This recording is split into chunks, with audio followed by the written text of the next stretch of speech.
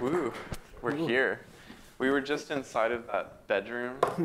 Um, there's like two bedrooms here, and we were all um, just talking on and on about everything that we're about to talk about. So um, I wish you could have heard that as well. It was really, it was really smart. I don't know if we can Turn turn the that smart now. back there. Yeah. um, I'm thrilled to be here. I'm going to be functioning as a kind of facilitator. Um, and then we'll, I'm sure it'll go all over the place. Probably. Um, I just want you to know you have your rosé over here. oh, thank you. We actually, we were like, we need rosé in order for it to be truly queer. Yeah. And then, It's not a Provincetown gay history Yeah, discussion exactly. without rosé, without rosé in a barn. and we have to say like something really salty and then take a long sip. Oh, yeah. yeah. um, so I lamely have my questions on my phone, which is why I'm going to look at it occasionally. I tried to print it off and I couldn't. I'm sorry. I always find it like really annoying and stupid looking, but I'm about to be annoying and stupid looking. No judgment. So my first question is um, for both of you. What's a rarely told LGBTQ story that's in your book that you want other people to know about? Um, something that has been overlooked Oh. Um, where to begin? uh, I guess when we were back there, we should have gone over the questions. Uh, Oh yeah, sorry. yeah, that would have been smart. It also would have been like nice for me to send them to you, but I- Oh, that's okay. Um, you know, I mean, I, I, I really don't know where to begin. I, I think that there are, i i- there are two different, well, there's tons of answers, but two broad ways to answer that. One, um, there are a number of stories and, and details that we could point out. But Then there's also just a lot of the you know, dominant popular stories that we know, uh, we don't really know. Um, and, and so, uh, what, I mean, if, to go with the theme, Stonewall, uh, I, I feel like everybody knows, but nobody really knows any, anything about. Um, the, the story of, I mean, it- based on our research, Stonewall, the bar did not sell shots. So this notion of someone throwing a shot glass uh, would seem would seem, would seem off. Um, based on everything we know, Marsha P. Johnson, Sylvia Rivera, neither of them had gotten down there when the actual riots started. So the notion of it, either of them starting it. Um, so there's details in the popular stories. I, I think uh, that one kind of striking uh, story is, is that you know, the 19, in 1973, when, when the activists had fought to have homosexuality removed from the DSM, uh, removed as a pathology, um, it didn't actually get entirely removed. If, if someone wanted to change, if somebody you know, wanted to seek uh, to, to, to be cured, they still could. And that's where and they would be licensed professionals still that could Yeah, yes. offer that. Yeah, and that's where conversion therapy really, i out of what it, it is based.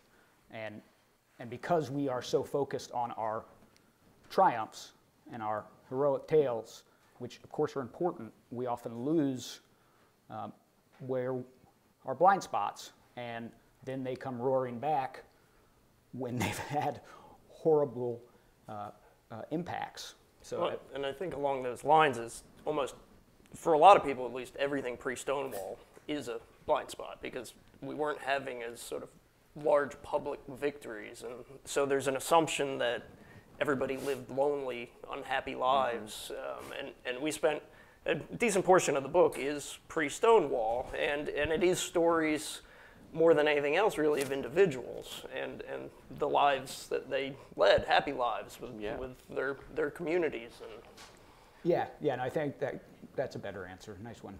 Um, Well, we were we were, we were talking about the the like noble suffering that we see represented in media often, Yeah. right? Like it queer lives are often presented as like we're suffering but we're noble about it and something you know it, you know it's there's something beautiful and tragic that that really sells you know Yeah, I- and I think, I mean, that's right, that, that we, in, in order to kind of prop, and we do this, I feel like every generation, in, in order to prop up how far we've come, we talk, we kind of denigrate, you know, the, how sad it was to live back then, and i- i- the way that history is presented, it, we don't dive in to how incredible it was and how joyous it was and the community that was built um, and, and, and what a you know, brave and profound act of resistance it was, uh, not just in the 50s, not just in the 40s, but, but going back, and, and while it's not the activism that we've come to define as marching in the street, but merely existing as a visible queer person, a profound act of resistance that needs to be celebrated where too often it is like, oh God, that must have been so hard. Well, screw you. You don't. I mean, Yeah. like it might also might have been a great fun. They were having tons of fun. Like, Well, we were just talking about like molly houses. Do y'all know about molly houses? In, in England in the 18th century, and I- I think it was mostly the 18th century, um, there were these houses uh, that were usually underground. Um, you know, you had to sort of know people to go to them, and they were basically a, a proto drag club um, with all sorts of orgies and um, they would they would perform like these fake marriage ceremonies. I mean, I think some of them were actually they were taken as real marriage ceremonies, but sometimes they were mocking marriage and they would pour like pig's blood on each other. I mean, crazy stuff Yeah. like that. Doesn't that sound fun? yeah, exactly. That's actually what we're doing later tonight. So.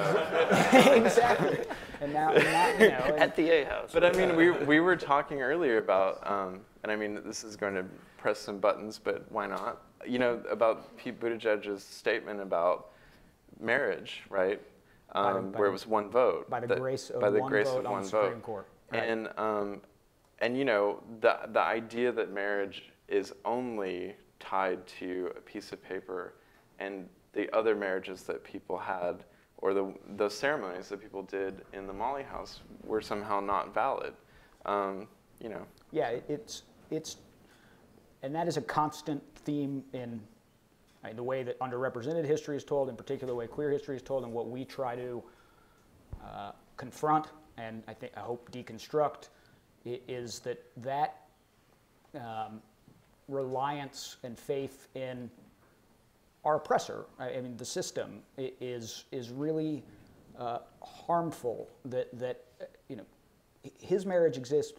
Marriages exist because a you love somebody and you make a commitment to that person, whatever that commitment looks like, and b from there because of the work of queer activists and their attorneys fighting against a system that made no place for them, and eventually after you know, however long, centuries, uh, enough work was done for a temporary, and we should all be aware that it is, very, it is exceedingly temporary, uh, that, that we, we have this uh, you know, benefit. And, and it's not something that was given to us, it's something that we earned. Um, and too often, the history is told as if we have, uh, sorry, Sophie, hi, um, uh, that we've, you know, that these rights are, are given um, by the benevolent majority as opposed to something that we have fought and died for. Um, and, and um, uh, yeah, yeah. Yeah, I Well- think, I mean, Mayor Pete's narrative, the often repeated narrative, I mean, it writes out both the private marriages that have gone on, and there's even photographic proof of going back many decades. Um, it writes them out of our history uh, because the state didn't recognize those marriages, but they meant the same thing to those people. Um, and then it also, yeah, it writes out all the activists and activist lawyers and everybody else who had worked for, for decades. I mean, we're, you can go back to an, an issue of one from the 50s that talks about marriage. Um, it, it wasn't a new idea. And, Yeah. and Kennedy alone did not hand us this right. But, and, but and it's important to point out, as, as you did earlier, that he, I mean, Mayor Pete, in and of itself, of, in and of himself, is queer history, and and th- this speaks to a larger issue about kind of the detriment of not b- having a robust uh, access to and connection to our history is that that you know it, we we need those who are creating new space and creating new history to speak the language of our history so that they don't you know it's the Yeah. oldest cliche there is i mean not, not knowing your history you'll, you'll repeat the mistake and and um, it is an incredible thing no one is discounting that to see Yeah, a, a awesome. viable presidential candidate kissing his husband Yeah. uh, we wish that he had the, he would use the platform to, to I mean when he speaks of why his marriage exists um, to talk you know more about actually why it exists which is Well, it's a great cultural moment to bring up all this stuff. You know, like that's how we get to have this debate in many ways. Um, you know, because it's becoming a pop culture moment. Um, so, good for him, and he's he's evolving. You know. right Um, I mean, one of the things that I found so fascinating about this book is, and as opposed to just looking at your Instagram, which is wonderful, but seeing everything, um, it's not necessarily linear, but everything put together in one book. You see a story of, in many ways, this um, debate that has been going on in queer circles forever, which is like, do we assimilate fully and accept the terms that the overculture has for us, or do we resist? Do we riot? Do we, you know, just get our claws out? yeah I, I, I, I, I think I, I, I might say it a little different. I just, do we accept the fact that our existence is a riot uh, and, and that, that uh, just walking around by our, by our nature, there is nothing that we can do to actually accept the terms that they're trying to set. It is an impossible uh, goal, and, and, but, we, but there, there is a significant chunk of, of certainly within kind of the, the establishment um, that, that constantly tries to make it seem like the goal is this to be like them, to be like everybody else, to, to integrate. And that has been from the beginning of, of you know, at least queer uh, political organizing. Um, and from a personal experience, that's the way history is, is taught. That, that, that that's how it's always been, that the goal has always been this notion of, of rights, um, of, of, of integrating into the system. The, the story of the fact that there always have been militants loudly shouting, you know, maybe we just, maybe we should make them more like us, uh, really isn't told. And, and even those that do get told, after they're gone, their story gets kind of dulled down and shaped into however we want to use it now. Well, can you tell the audience what you responded to GLAAD with? Right, so GLAAD recently tweeted out something about how incredible, so Marsha P. Johnson, Sylvia Rivera, the trans women of, of color uh, who started Street Transvestite Action Revolutionaries, um, they tweeted out something about the, the incredible peaceful protests of, of Sylvia and, and Marsha, to, to, to, which I, to which we responded a, a, a quote from Marsha saying that Star, Star, which is Street Transvestite Action Revolutionaries, believes in picking up the gun and killing the next cop. Uh, uh, they- they- they- Peaceful. They just like responded to that tweet. we don't have we don't have to, we can we can still make a point about these people without just shaping them to fit our narrative and it really is damaging to do that. And uh, uh, you know i believed that my history as a our, our history as a people basically started in 1969 and we continue to to perpetuate that that narrative. Yeah, and I- I mean, a real issue with it is if you're looking at our history from sort of the, the broader societal American history perspective and, and it's being whitewashed, I mean, you are leaving people out. And, and victories are being celebrated when it's not a victory for the entire community. It is a, a victory for a portion of the community that looks more like the three of us sitting on the mm-hmm. stage. And and it, it, and it, I guess it was amazing. We didn't. I don't know if we expected to, to learn this when we started. That I mean, this this fight between the sort of the radicals and the assimilationists has, has gone back, as, as Matthew noted, from the start of sort of um, you know the true maybe queer liberation Yeah. activist uh, history, uh, which was pre-Stonewall. Right, Which was pretty soon. Uh, Well, I, I've been very fascinated with just in particular, you know, the Mattachine Society because, um, I mean, it's morphed into so many different forms Right. throughout the years, right? Yeah, yeah, and a, a pet peeve of Matthews, yes, the, the, the foundation versus the society. Right. Um, Yeah. Well, no, it, because it's a pet. Well, yeah, it's a pet peeve of mine, damn it. That, that, that, that, rightfully so. uh, be- because it's you'll constantly hear the Mattachine Society talked about as this monolith, um, and in particular, it, again, it fits this narrative of this the conservative Mattachine Society. People like Dick Leitsch, who passed last year, you know, he was the conservative one pre-Stonewall. So Mattachine broke up was in, was in three at least three different eras. There was Mattachine Foundation, which was Harry Hay and the founders. They were communists. Um, they, they were they were radicals. They, they believed in creating our own culture, our own separatist space. Uh, they got they created this thing that got somewhat popular. Once it got popular, around uh, about 52 or 53, this big wave of conservatives came in, and they started to preach that we just want to integrate, we just want uh, you know gay rights, and forced out the founders. That's when the Mattachine Society is born. There is a ton of internecine battles. Th- that national organization breaks up, and then the Mattachine chapters, Mattachine Sha- Society chapters are, are formed. And they all have different personalities. And, you know, this is why, and we say this all the time, Leighton and I are not popular at cocktail parties because somebody, because somebody will start talking about the Mattachine Society, and I'll be like, well, Actually. it's actually the, the foundation was it, and they're like, you know, we're just trying to. It's talk." really fun to Uh, read, though. but it, but it's also it's also really important, like because these these details matter because Yeah. it wasn't just one big.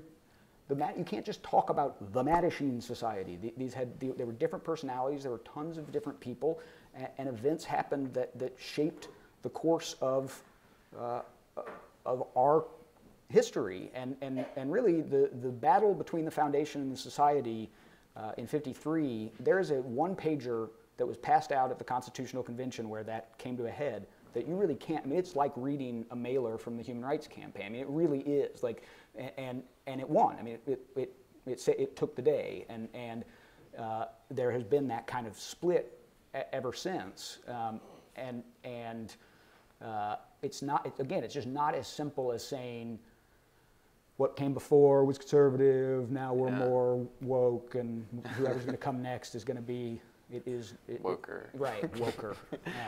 Um, I, I want to talk a little bit about the, the challenges in creating a kind of narrative in your history book. Um, because, you know, you, you're obviously having to string together quite a few different ideas. Did you, you know, as you just said, it's incredibly complicated in many ways. Like each chapter was different. Um, how did you write about all that stuff and maintain a narrative and also not erase parts of history? That's a big question. don't know that we did. I mean, I- I- Yeah, well, and, and the first draft was about double that that length. So um, I guess, and I mean, you, you have a probably fuller answer on this, but it, it's amazing, and, and I think especially because it was a early on, it was a rather small number of people who were, who were active in queer liberation. I mean, the the connections. Um, people at the, showing up at the same event or one person weaving through different cities and events. It, it's amazing how, as you dig deeper and deeper, you, you see these connections. And, and so the, the narrative It's starts to world. form itself in a way. Um, Yeah, I think so. You know, we started on with with the Instagram, and w- when we started the Instagram account, we had no idea what we were doing, um, and You just suddenly got 100,000 followers. yeah, right, yeah. It's like, took a while. didn't know what they were doing. Uh, we, I mean, we, yeah, we, when we struck a nerve, because I, I, I mean, I think, so we're both attorneys by training, we're, uh, we're particular. Uh, we, we research and write these long passages, whereas you know it's not just like hashtag love is love. It's it's, it's a little bit more uh, detailed and and um, the you know one of the benefits of of the account is is that well one we don't it, there isn't really a narrative right. It's these discrete posts. We get to just do everything uh, as opposed to the book where we did. It's, it was much more difficult because right then all of a sudden we became editors and, and more curators because we had to decide the stories. Um, and I mean, to Leighton's point, it became it became about finding the connections because the thing that had increasingly just shocked us uh, about about our history. Again, I, I had learned it. Kind of the popular history is, is this series of discrete savior, savior moments and heroes and sheroes that pop up and do these great things that take us ahead, and then you know we have to wait another five, ten years until somebody else, you know, Harvey Milk creates gay people running for for office. Edie Windsor creates gay marriage, et cetera, et cetera. Um, and, and not to diminish the importance of those individuals, but of course there's a ton of work that's going on in the interim. It's like Rosa Parks, you know, like, right? Yeah, you like, find, just yeah. Rosa Parks suddenly right, did like, that. out of the blue. Um, It all started on Yeah. that day. right, and and uh, so just trying to make the the connections, um, and yeah, I mean, like Leighton said, it, one of the one of the best examples, which is just still kind of mind blowing. So I mean, you, what's considered the first homophile gay rights group in, in the U.S., the uh, Society for Human Rights in uh, Chicago, the Hen- Henry Gerber's in 1924, um, which you know very quickly got exposed, and they all got arrested. And um, so, five years later, Harry Hay in 1929 is cruising in, in uh, L.A. He meets his first lover, Champ Simmons. Um, Champ Simmons tells him, Harry Hay, of, of this, this mythical organization that he'd heard of in Chicago that had gotten broken up. And that sticks with Harry Hay for decades, this idea of organizing homosexuals.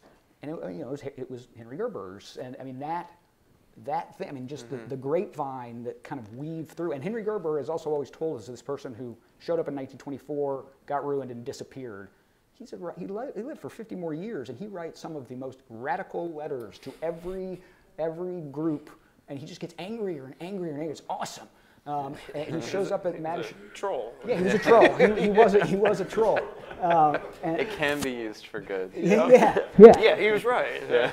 Um, and so I mean, it, it was it was it was basically finding and following the threads um, in, in order to tell. Well, that, that strikes me as very beautiful because Thank because I I mean we often feel alone when we're doing something, um, and I mean I know I experienced that with Boy Erased because early on like my book wasn't selling much at all. It was not contrary to how it sounds immediately a New York Times bestseller, um, but it you know it was it was not selling, but I was getting these emails from people who were saying you know, I found this book and it's like, help me. And then now there are all these activists doing so much work. It's not because of me, it's because I heard somebody else talk about their experience of conversion therapy. And it's just beautiful to see that traced out in our history as well. Um, it confirms that, really. And we need that confirmation. I mean, so much in this book, um, you know, a lot of you already know a lot of this, this history, but what it does is it compiles all of it in one place and lets us see the strands working together, which um, strangely I don't think had been done or I hadn't read it in that way.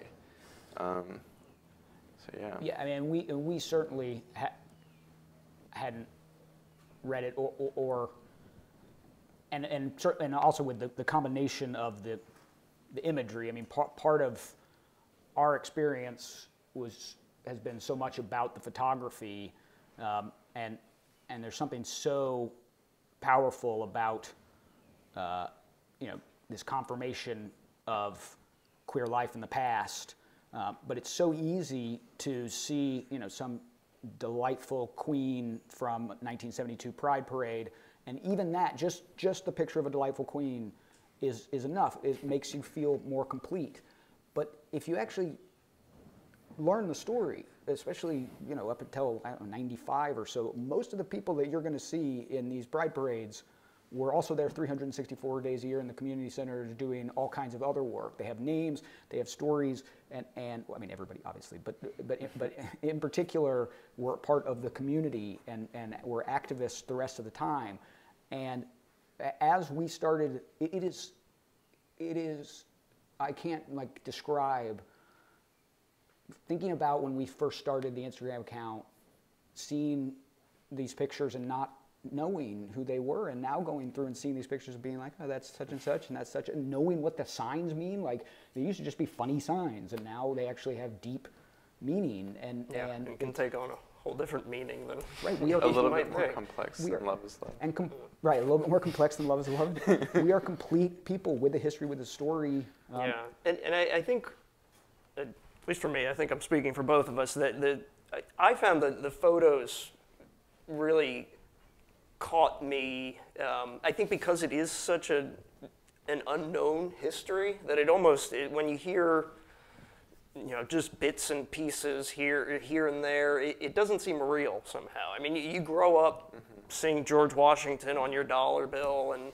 and you know, Lincoln on your penny. And, Yeah. and so, I mean, there's a, a way to sort of visualize, and, and it, it's just that is American history. Um, when you don't have the visuals connecting you to that history, at least for me, I, I felt disconnected from it. I, I didn't. I didn't feel a part of the community that was creating that history, and, and with the photos, I think it really helped me with that. Yeah, and, and to add that, you know, that there's also a, a, a very serious generational disconnect because for so, you know, I'd say any LGBTQ plus person over the age of 45 or 50 lived a very different life than at least a significant population of, of uh, people younger than that and who, you know, much of the struggle that, that we're trying to impart in the history was a lived experience for a large population uh, of, of our people. Whereas the space that was created by those who, who lived that life, um, we don't live in, uh, the younger people don't Yeah. have that. And all we want to hear and all we have heard about is how great things are and it gets better and love is love. And, and, and it, it's, it's more uncomfortable to read the history about that it was, it was really difficult and it was not all fun and it wasn't all triumph. And, and you know what? We need to be conscious of it because it's not over and it, it continues to this day. And when you, you need to be very aware of when gay, queer organizations are telling you victory because we've heard that before uh, a number of times. And while we deserve to be proud of the accomplishments that, that we have earned and that we have made, um, we do not deserve to take breaks uh, Yeah. for any significant amount of time. Yeah, um, I was just thinking when you were talking about sort of this texture of history, um, because I'm writing fiction and my fiction is set in the 18th century about queer people before there was a word for it.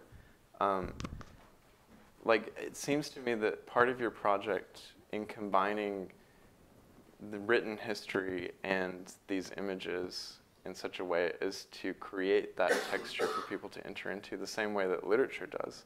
Um, you know, there are many great novels about the AIDS crisis, for example, um, and that I think that's the best way, in many ways, for someone like me to enter into that.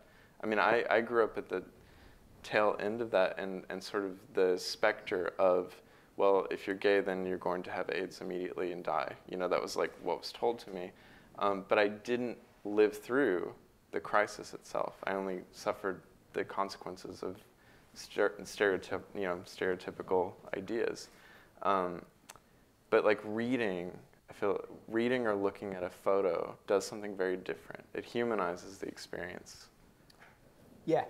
No, I mean, that, that, uh, yes, I agree. Yeah, sorry, it was more of like a comment. No, no, no. I mean, Yeah. it, it, it, we have the same. We were, we were, we were raised in the kind of shadow uh, of, of the crisis, uh, which, I mean, the crisis is not over, but, Yeah, but the peak uh, era uh, of, of the crisis, and, and it certainly has um, informed, and we talked about this earlier, that, that it wasn't until doing the research for the book and really um, diving into the, you know, kind of the radicals of, of the, even the early 80s, which is too often overlooked as pre-ACT UP and they weren't doing anything. Um, it, it took diving into that history before I, as an individual, understood that AIDS wasn't our fault. Um, you know, I've heard that tagline before, but it took connecting with history to really come to understand what that meant and, and to really internalize that and the, the, the impact that that, that that has had on, on my life to understand that no, they, like the, the Tylenol scare, cyanide scare, whatever else was going on, Legionnaire's disease, if it had been anything else, they would have saved us like that. They let us die. Should we have been you know, somewhat more responsible? Yes, just like if, if, if they're not taking you know, disease food off the, off the market because, yeah, so we have to somewhat like change our behavior a little bit, but that's not our fault. And I, you know, I really didn't know that, E- even though they say that, I really didn't understand. And not only that, but we revolutionized medicine. We revolutionized sex um, in order to do what the establishment and, and the government wouldn't do. Uh, eh, so, and then the fact, like Peter, a friend of ours, uh, I it's 70 or so, you know, he, he I mean, hearing, there's a picture of him in, in the book. We have, uh, he, he stopped counting funerals at 100, uh, and, and um, that type of detail, it's not something, it's not fathomable to, to, to, to me. But Uh, it but it brings you closer to Yeah. beginning to understand. and beginning to understand that our responsibility is to listen and to understand that when you are engaging with someone who was alive and, and is alive, that you are dealing with someone who a has PTSD and rightly so, and b has stories that you need to Yeah. hear, and and that we've used often a, a tagline like. You know, it, killed an entire generation. It didn't kill an entire generation. It killed way too many people. It murdered way too many people. But there, but that that line, at least in my experience, excused me from doing the hard work of connecting with the many survivors of, and it's not just gay men, it's not just bisexual men, it's all queer people. It's anyone who who was uh, affected. Of course, you know, also IV uh, drug users, Haitians, whoever. I mean, um, and and we need to do the work of of collecting our stories. And uh, ageism again plays a horrible role in this. But talking to uh, the folks who are survivors um, is has been an incredible part of this project. Uh, the no, I mean, I don't, I don't know how I don't know how we did it, uh, but we did it because we had to, and that we should all take great pride in that. Yeah, it's beautiful. Um, in doing all this research for your book, did you? I mean, I guess my first question is, what were the sources that you really gravitated towards? Um, and then a spin-off of that question is like, did you find anything that upended your own biases? You know, because you write in your intro about not knowing much about queer history in 2015, yeah, and now, now here you are, right? Um, and I saw y'all speak earlier in P Town, like with such authority about these different moments in history. We weren't, Very- pop- we weren't popular at that. Oh, I liked it. it was yeah, it was kind of irreverent, but it was fun. Um, and and I think uh, I just want to know more about that process. I, I think one of the benefits of of starting with the Instagram and not really starting out with any expectations. So I, I think we were willing to sort of take our time. Um, I mean, we really just started independently uh, researching after after we realized sort of collectively that we knew nothing. Um, we sort of dove into our separate corners, and, and I'm more visual, so I was sort of doing a lot of photos, and, and, and Matthew was doing more reading and research, and, and we, yeah, we, I guess it, it gave us time to learn, and, and as the account, you know, to our amazement, kept growing, it also was giving us more, that started giving us contacts and, and resources that, that we could turn to and, and continue to learn from. And, and so um, we'd been spending a lot of time before we ever considered a book as a, a real possibility. Uh, I mean, we had sort of devoted our lives already, even though we were you know, secretly still doing law. Um, Are y'all still secretly doing law? He's still he's still secretly an attorney. Okay. so, um, Yeah. So yeah, and, and so I, I think that did that gave us um, sort of a, a buffer to, to start to learn enough to know, start to really learn what we didn't know, and, and to sort of know where to begin to turn to, Right. to find some of that. Yeah, I mean, it, it was it's a profound thing to you put up a picture and and all- and more and more it started to happen that we'd get either you know comments or emails or whatever that that's me.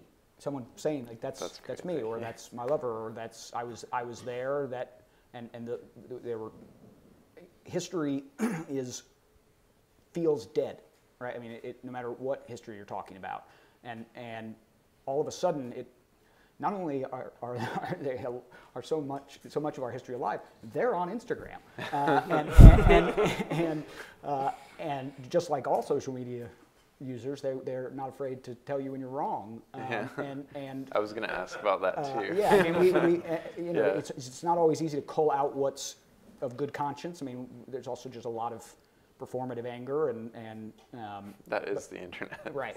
Uh, but then when it came time to to do the research for the book. Um, so w- when we started, I thought it was going to be using a lot of secondary sources. Yeah, I'm just going to read, I'm just read the books. Um, so I, this is where kind of our lawyer kind of OCD stuff. I started to check endnotes and check citations, and you'll find very quickly that secondary sources are citing secondary Yeah. sources, uh, and then I, so it's like a there's a Marx It's an echo Brothers, chamber, yeah, there's right? a Marx Brothers skit Yeah. where you have to keep buying the book in order to figure out which horse to bet on, and and he ends up with just a ton of books, and by the end of it, the race has already started. Um, sorry. We need to like have a screen. Yeah, yeah. Uh, trust me, it's hilarious. um, uh, Marx Brothers never get old. Um, but that that uh, and when you finally get, you finally find the one secondary source that has an you know a, a primary source. It would be some oral history, some interview that was done 20 years after Yeah, the fact. you just which, have to trust it. Right, which you don't we don't discount entirely, but it is certainly not a primary source, and and this separates us from historians up until just a few years ago. Uh, hundreds and hundreds of thousands of documents have been digitized and put on through the Library of Congress and through NYPL and New York Public Library, where you know I could sit at my desk and it's like the Google of queer history, looking at meeting minutes from the Daughters of Bilitis in 1950, you know, four or 1955, um, and and so all of our we we we don't I, I don't think I mean we tried not to say a sentence or write a sentence without primary sources um, That's great. and, and and multiple because and even then we use a lot of adverbs um, because we got tired of reading these definitive histories because when is history ever really definitive?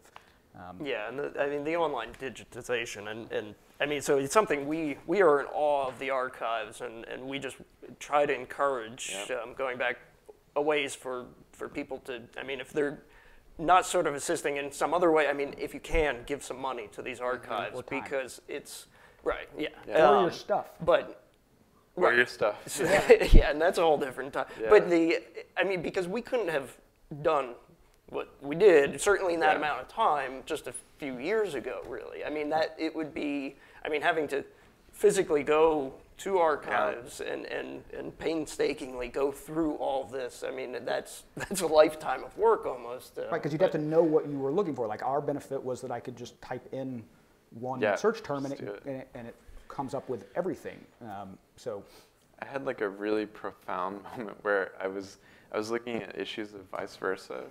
with Lisa Ben, who's a- an anagram for lesbian, it's really fun.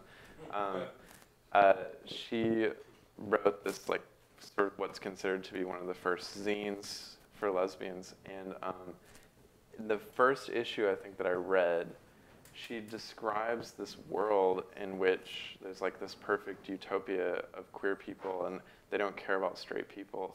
And I was like, this is so much more woke than like Yeah. how we were 10 years ago. Yeah. You know, I, I felt like um, history came alive to me because I understood that these discussions have been Been taking going on. place forever, but you would think they just started last year. Right. Right? You would think with the way that things are framed online and the way that things are reported out, right, that these ideas are suddenly in the mix. You know, it's like the Me Too movement. Like everyone Yeah. just thinks it suddenly happened. and Well, that's such a, a sad part of our history not being taught in schools and everywhere else is that it's so much more difficult to build upon what people have already done, what the Mm-hmm. thoughts they've already had. Because you are sort of not quite starting from scratch, but I mean, a lot of people are. I mean, yeah, having to create a foundation that really is already there, they just don't know it. Yeah. Um, And there's that quote uh, in the intro from uh, an Audre Lorde quote that we have a historical amnesia that uh, keeps us having to reinvent the wheel every time we have to go to the store for bread.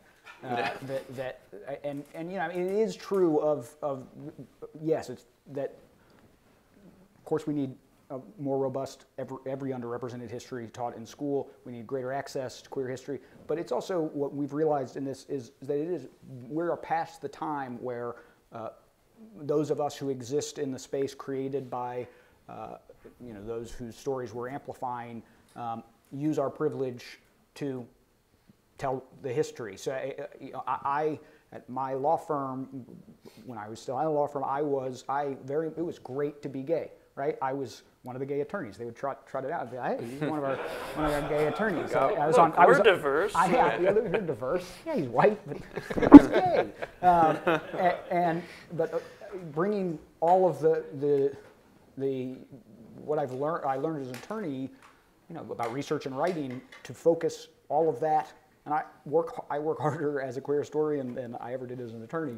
Um, and and uh, that it's time that, that those with the privilege that we have by those who came or created by those who came before start to use it uh, for you know, those who will come after us. And, and it's, it, it, we also believed that it's impossible to access the history, that there isn't, there's only a finite world of it. That's, it's absolutely incorrect.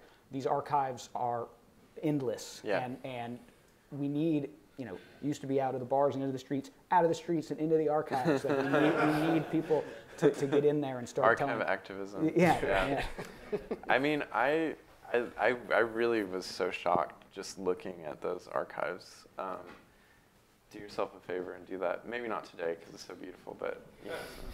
Um, yeah, I. What was I going to go with? That? I had a really good question. I don't doubt really that for a profound, second. And now it's like gone away. Well, I could just keep talking. You, y'all could, yeah. The archives are Ask neat. me a question. um, wait, it was right. I had too much rosé already. No. Not enough food. Um, I told you it's that. killing me. Yeah, I was supposed to fill your blank space, but really I'll just stare at you. Yeah, you can ask me a question. Oh wait, nah.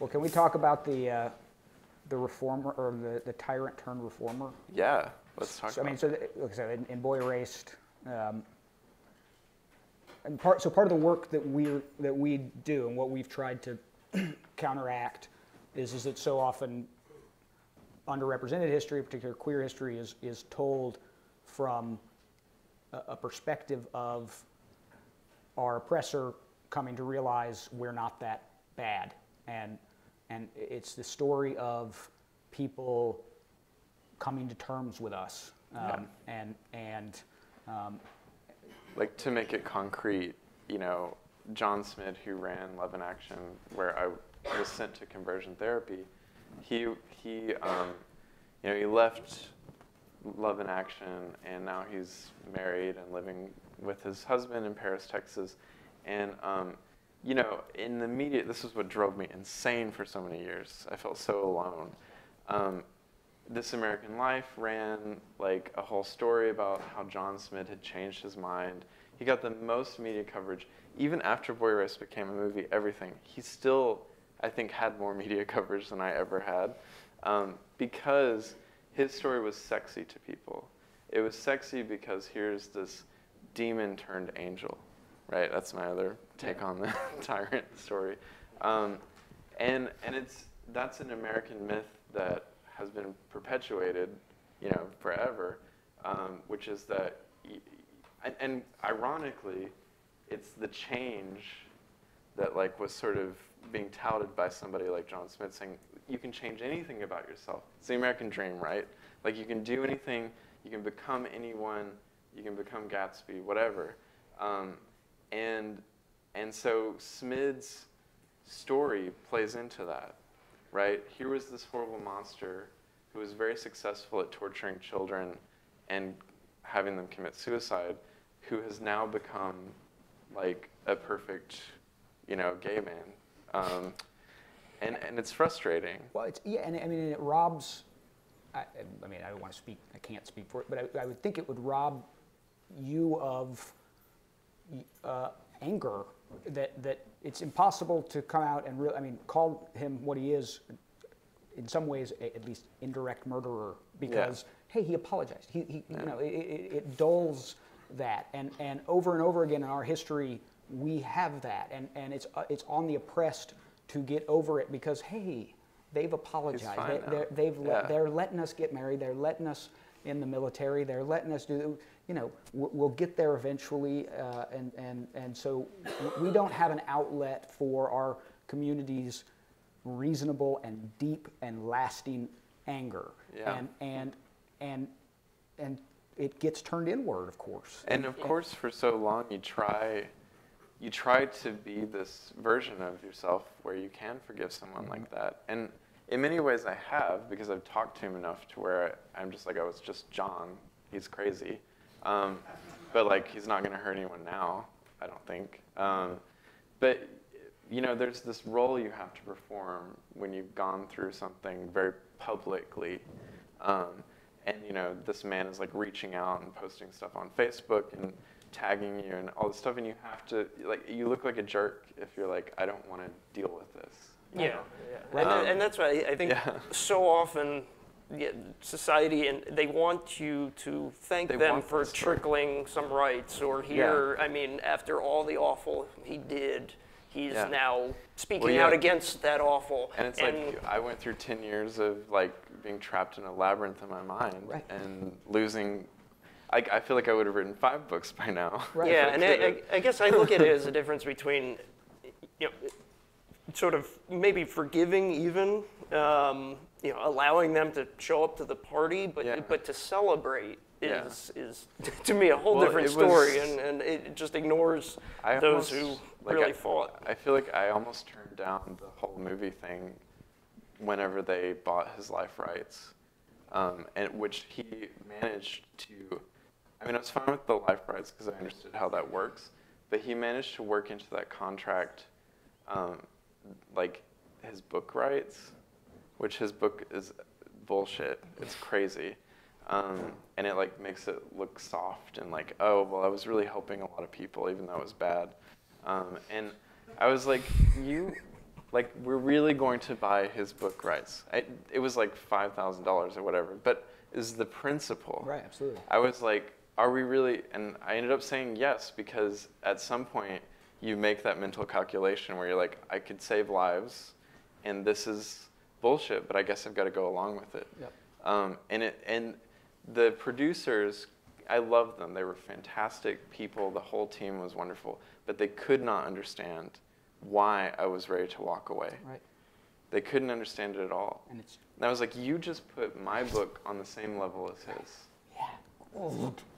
It's not a book. It's a piece of trash. Right. Like, Uh, uh, yeah, and, Yeah. and I think so. I mean, I think that, that what we what, what we didn't even realize was a thing, and what we have since tried to do is that our book and our work is queer history. It is a history of what we have done, what queer, how queer people have organized, how we have interacted with each other and organized, and, and that often is, there's a lot of internal uh, fights, and, and that's not always pretty. But the, the, the dominant culture uh, is tangential. It, it, how, how they were thinking, what they were doing, isn't the focus this is uh, our history. Yeah. Like whether or not they were digging it wasn't. I mean, that was a question that was being debated within our community, um, but it, it really sets kind of the the oppressor, the, the tyrant, or whether or not they reformed, off to the side, Yeah. and and focuses on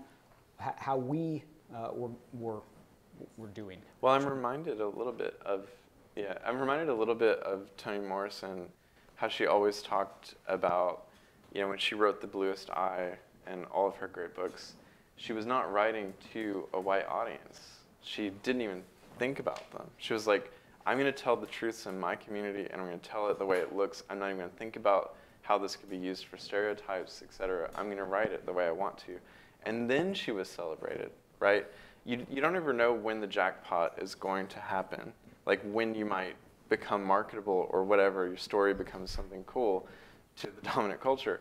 But like she did it on her own terms, which makes it beautiful to me. You know, she's actually reforming the way people think because she never compromised.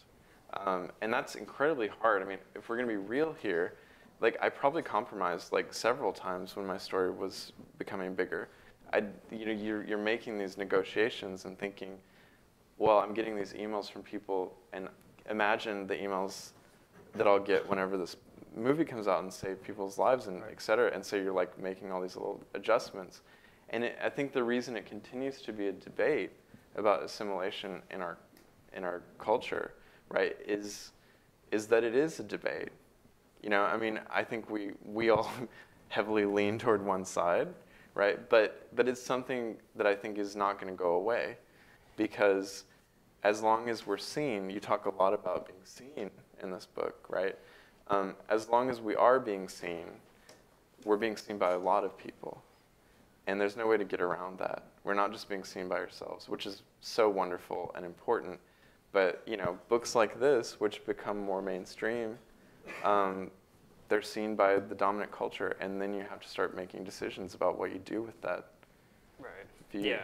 Yeah, and and I think, I mean, it's human nature. I think we'll always be a minority. Um, so I think there will always be a tendency to want to sort of assimilate, fit This in. isn't I part of the gay agenda to turn everyone. Yeah, Yeah, I mean, okay, not, yeah, I misspoke. We won't always be. that, that's you know five percent more after this book. Um, but it, so I, I mean, especially young, you're, you're going to want to fit in and um, and- and and Well, it's not just fitting. I mean, we talk, and we again we talked about this. Like, okay, we're being. We gotta do Okay, no, questions. but the, the, the, if, what- whatever you need to do to survive, whatever you need to do to be in like with your family and your friends, that's fine. I mean, we're not asking people to be just radical in your face, fuck you to everyone around you. Like that's not a, that's not a livable. That's it's not a, a scenario you. c- But that's also you don't have to bring your love is love. I have, you know, I'm building bridges to those that hate us. That's not also not a political approach for liberation. And th- there does need to be a separation that once you come into a queer space when we're talking about how we're going to build a path forward uh, for us, we don't absolutely have to be talking about, well, what are they going to let us do? Because they're never going to let you do it. Right. Not until you demand it. exactly.